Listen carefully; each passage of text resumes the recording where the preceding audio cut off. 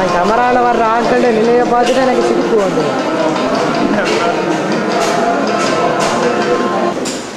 நமது ஈழத் தமிழர்களுடைய அடையாளங்களை நிலைநிறுத்துகின்ற ஒரு கலந்துரையாடல் நிகழ்வை அகராதிகள் தொடர்பாக இந்த மாலை பொழுது புத்துணர்வோடு ஒரு தொடக்க புள்ளியாகவோ அல்லது ஒரு தொடர் புள்ளியாகவோ முன்னெடுத்துச் செல்கிறது அந்த வகையில் இந்த நிகழ்வை வழிநடத்தி செல்லுமாறு பேராசிரியர் சந்திரசேகரம் அவர்களை அன்போடு வேண்டி இந்த நிகழ்வை நாங்கள் ஆரம்பிக்கிறோம்.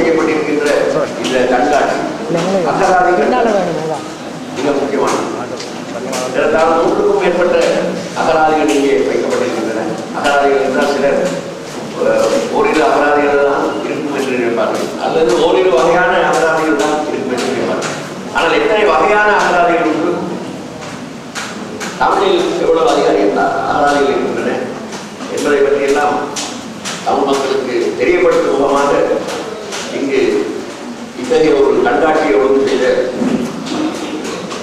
ஆசிரியர் அவர்களுக்கு நான் இது நன்றி கூட விரும்புகின்றேன். தமிழ் மக்கள் அறிய வேண்டியது நிறைய உண்டு. அந்த அடிப்படையில் இந்த கண்காட்சி மிகவும் பயனுள்ளது என்று நான் கருதுகின்றேன்.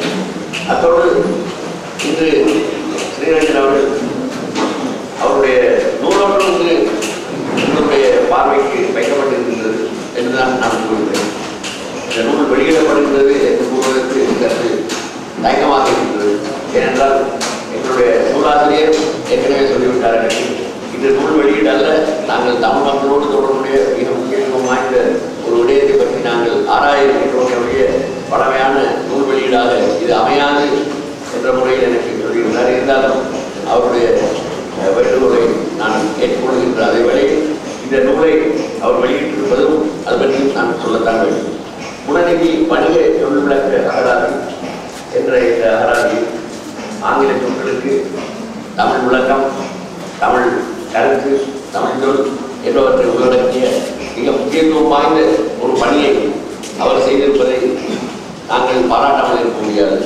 அதாவது இங்கு இருக்கின்ற அவையினர் சார்பில் மட்டுமன்றி தமிழ் நல்லுலகத்தின் சார்பில் அவருடைய இந்த முக்கியத்துவம் வாய்ந்த பணியை நான் பாராட்ட விரும்புகிறேன். இன்று இத்தகைய இந்த அகராதிகள் குறிப்பாக தலைச்சொற்கள் கலைச்சொல்ல அகராதி என்பவற்றின் தேவையை பற்றி சில வார்த்தைகள் சொல்ல வேண்டும். அதேவேளையில் இன்னொரு தகவல் அரச கர்ம மொழி திணைக்களம் இலங்கையில் இருந்தது. அந்த அரச கர்ம மொழி திணைக்களம் அல்லது அரச கர்ம என்னுடைய பணியின் பேரில் வேண்டுகோளின் பேரில் பேராசிரியர் சிவத்தம்பி அவர்களினுடைய தலைமையில் ஒரு விரிவான ஒரு கலைச்சொல் அகராதி அகராதிகள் தயாரிக்கப்பட்டு வருகின்றன ஏற்கனவே சில அகராதிகள் வெளியிடப்பட்டிருக்கின்றன. அதாவது பொருளியல் வணிகம் என்று மட்டுமல்லாது சமூக அறிவியல் சமூக அறிவியல் இயற்கை அறிவியல் துறை சார்ந்த பல்வேறு துறை சார்ந்த கலைஞர் அகராதிகள் இன்று அவருடைய தலைமையிலே தயாரிக்கப்பட்டு இருக்கின்றன.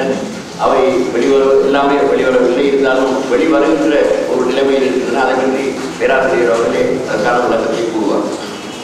என்று கூறி இன்னும் சில விடயங்களை நான் கூற விரும்புகிறேன். அதாவது உலகத்திலே பல நாடுகளிலே தமிழர்கள் வாழ்கின்றார் நாங்கள் பெருமையோடு கூறுகின்றோம்.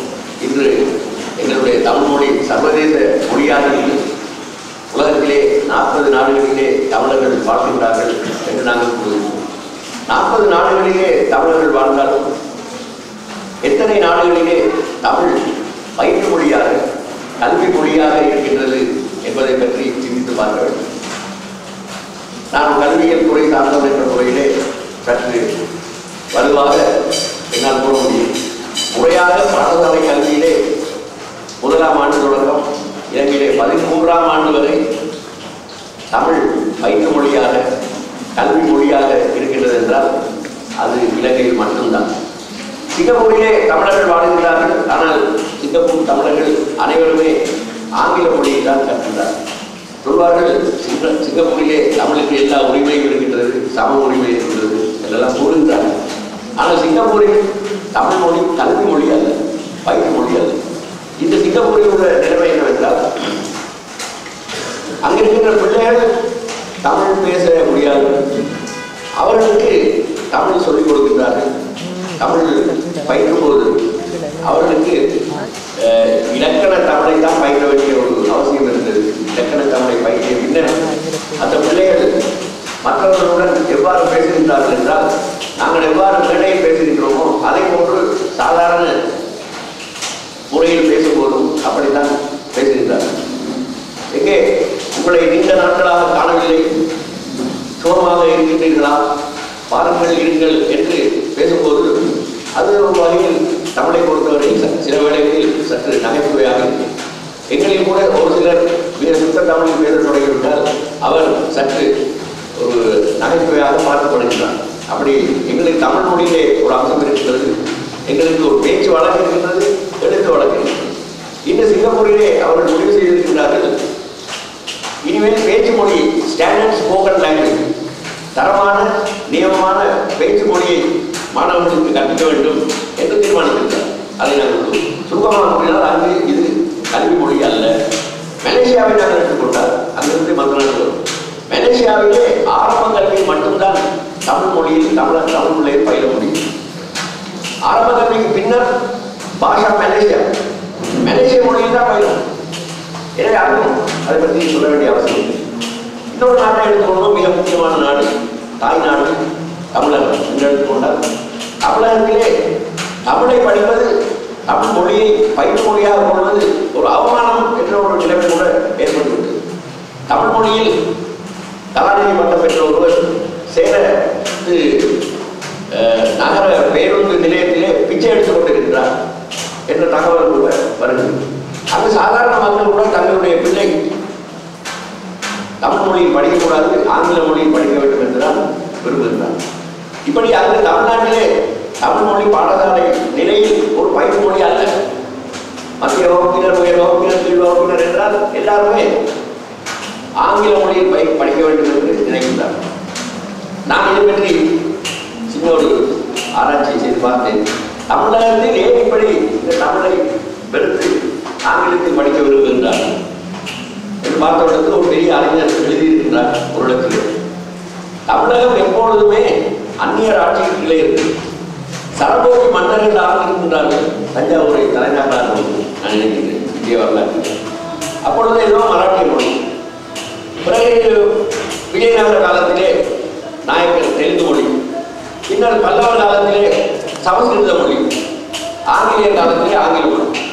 இவையெல்லாம் அரச கர்ம மொழிகளாக மட்டுமின்றி தர்பார் மொழிகளாக இருந்து வந்திருந்தது அப்ப இந்த நிலையில் தமிழர்கள் அந்நிய மொழியிலேயே பழக்கப்பட்டு விட்டார்கள் அதன் காரணமாக அவர்களுக்கு தமிழ் மொழியில் படிக்க தேவையில்லை என்றால் அது ஒரு பெரிய விடயம் அல்ல என்று ஆனால் இலங்கையிலே அப்படி இல்லை இதற்கான காரணங்களை நாங்கள் ஆராய முடியாது இலங்கையிலே இன்று பதிமூன்று ஆண்டு வரை முதலாம் ஆண்டிலிருந்து பதிமூன்றாம் ஆண்டு வரை தமிழ் மொழி கல்வி மொழியாக இருக்கு. ஆனால் சில மாற்று ஏற்பாடுகள் இன்று நடந்து வருகின்றன. அந்த ஏற்பாடுகளை பற்றி பெரிதாக இங்கு கூறுவதற்கில்லை இன்று உலகளாவிய ரீதியில் பார்த்தால் இந்த நாட்டில் எங்களுடைய நாட்டில் தான் தமிழ் மொழி பயிற்று மொழியாக இந்த பயிற்று மொழி என்பதற்கும் எங்களுடைய இந்த அகராதிகளை உருவாக்குகின்ற முயற்சிகளுக்கும் ஒரு நெருங்கிய தொடர்பு இருக்கின்றது என்பதன் காரணமாகத்தான் இதனை நான் கூற விரும்புகிறேன். இலங்கையில் ஆங்கிலமே சகலருக்கும் பயிற்று மொழி கல்வி மொழி என்றால் இத்தகைய அகராதிகள் பற்றிய பிரச்சனை இட வேண்டிய அவசியம் ஆனால் இன்று உங்களுக்கு சொல்ல விரும்புகின்றேன். தமிழ் மொழி பதினோராம் பதிமூன்றாம் ஆண்டு வரை பயிற்று மொழியாக இருந்தது. விஞ்ஞான துறையிலும் பயிற்று மொழியாக இன்று இருக்கின்ற பல துணைவேந்தர்கள் கல்வி பீட தலைவர்கள் ஆணையாளர்கள் பெரிய மருத்துவர்கள் பெரிய பணிப்பாளர்கள் செயலாளர்கள்.